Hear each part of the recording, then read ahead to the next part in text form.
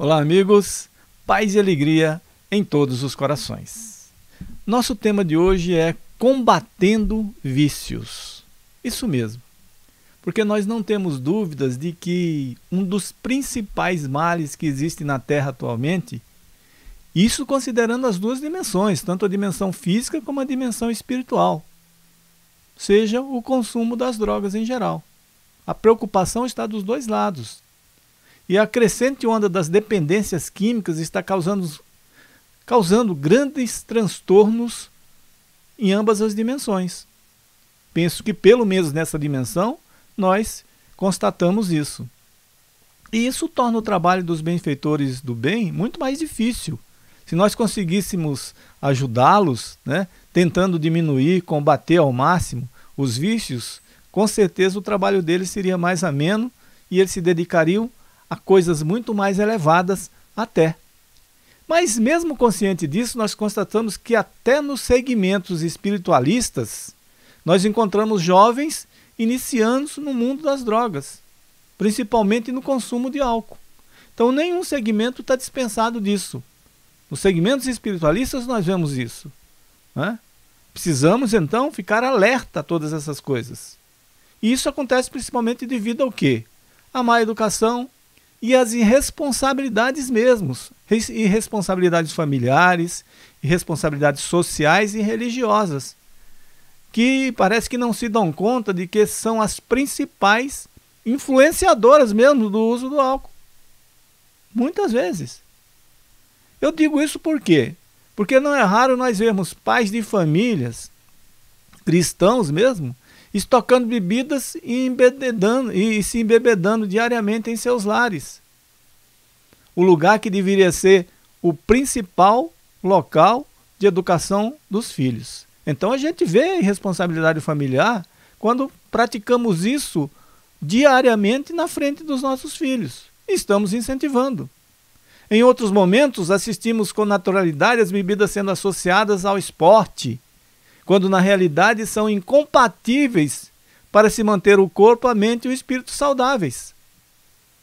Vocês devem se lembrar do cigarro, que antigamente tinha propaganda de cigarro até dizendo que o cigarro, quem usava aquele cigarro, era o sucesso de tudo. E nós vemos os males que o cigarro faz para a humanidade. Agora continuam fazendo isso com a bebida.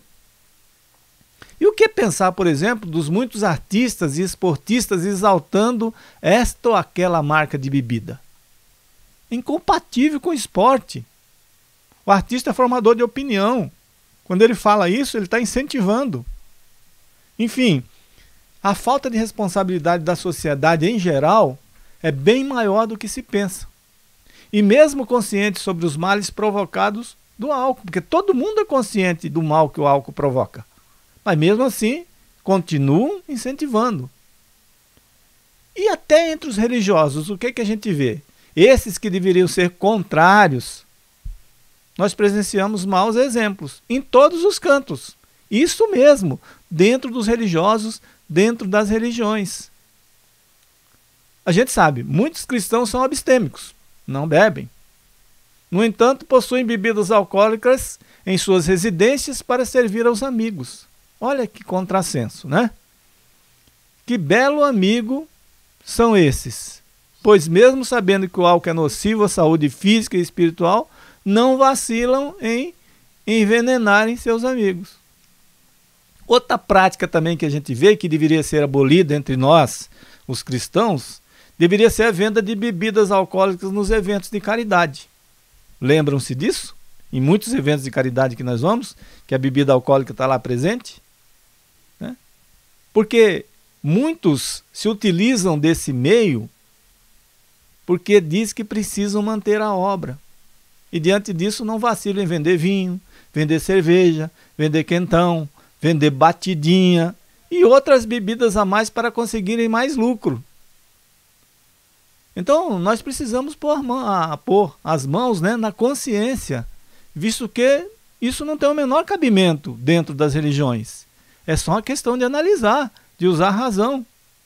Agora eu me lembro mesmo de uma orientação do pai Joaquim, quando ele esclareceu que muitas instituições de caridade estão produzindo alcoólatras, alcoólatras para depois tratá-los. Olha que interessante. a colocação dele. Por quê? Ele, as instituições vendem bebida alcoólica para as pessoas, com isso elas estão ajudando a transformar essas pessoas em alcoólatras, alcoólatras né?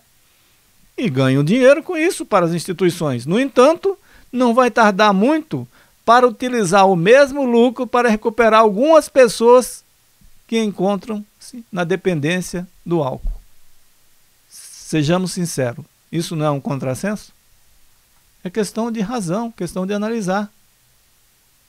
Ainda encontramos muitos dirigentes também que são cara de pau, no sentido vulgar falando, que vem com a desculpa de que se as pessoas não encontrarem bebida em suas festas ou em suas barracas, irão procurar em outros locais mesmo. Né? Nós concordamos plenamente. Entretanto, isso não é da alçada da instituição. Cada um tem o seu livre-arbítrio. Mas caso isso aconteça, as instituições religiosas não estarão sendo coniventes nem cúmplices com, a, com quem deseja prejudicar-se física e espiritualmente. Elas não têm nada a ver com isso se a pessoa está tomando em outro lugar. Ela não, não deve é vender nos seus locais. Ainda encontramos outras desculpas.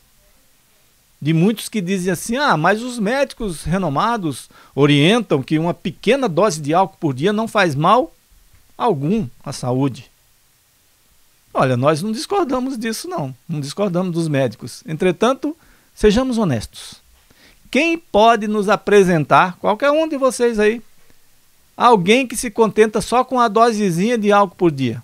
Apresentem para nós uma pessoa que se contenta só com a dosezinha de álcool por dia. Ou seja, eu garanto que encontrar a pessoa desse jeito é a mesma coisa que procurar agulha em um palheiro. E as narrativas também não param por aí, pois quando nós falamos contra o álcool e, né, até dentro dos meios religiosos, aqueles que gostam invariavelmente aparecem, né, para citar Jesus, dizendo: "Mas Jesus transformou a água em vinho, isso não tem problema. Jesus transformou a água em vinho nas bodas de Canaã para servir aos convidados que estavam ali. O que, que você me diz disso?" E nesse mistério, nós também temos que nos valer da razão por quê? Analisando a passagem de Jesus pela terra, o homem que Jesus era, por tudo que ele nos ensinou, eu penso que fica evidente que ele, com toda a sua sabedoria, ele não poderia ser cúmplice na embriaguez de quem quer que fosse. Tem alguma coisa errada por aí. Jesus ia incentivar os outros a ficar bêbado? Jesus ia incentivar a beber mais ainda, que já tinha acabado a bebida? Então nós lembramos nessa passagem citada pelo evangelista João, até para a gente se lembrar dela direitinho, de que Jesus, após transformar a água em vinho, encaminhou os odres né, ao mestre Sala, que após prová-los, dirigiu-se até o noivo e disse ao noivo: Todo homem põe primeiro o vinho bom, e quando já tem bebido bem, então o inferior. Mas tu guardaste até agora o bom vinho. Né? Interessante. Mas diante dessa informação, muitos também dos nossos benfeitores lançam a seguinte questão: Jesus teria transformado a água em vinho ou apenas dado sabor de vinho à água, sem necessariamente adicionar-lhe componente alcoólico? Cabe essa questão.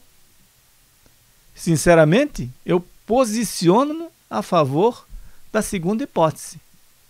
Eu não acho que Jesus ia querer embebedar ninguém. E ainda sobre essa passagem também, nós temos que analisar, ou, ou não podemos esquecer, do seu componente simbólico. Tem um componente simbólico aí. Lembrem-se, dizem que esse foi o primeiro milagre de Jesus. Então tem um componente simbólico de quê? Podemos considerar o vinho bom como os novos ensinamentos que Jesus iria, a partir daquele dia em Caná, é, transmitir a toda a humanidade. A partir dali, Jesus transmitiu tudo que queria. Um bom vinho. Certo? Então, meus irmãos, nós, pais de famílias, nós, avós, nós, dirigentes de entidades religiosas, de entidades caritativas, jovens, vamos tomar cuidado com isso. O álcool não nos leva a lugar algum. Não vamos nos impressionar com alguém dizendo que eu bebendo esta ou aquela bebida eu vou fazer sucesso ou vai ser melhor para mim. Nunca vai ser melhor. Sempre vai ser pior. Um grande abraço a todos vocês, meus irmãos. Paz e alegria em todos os corações e até a próxima.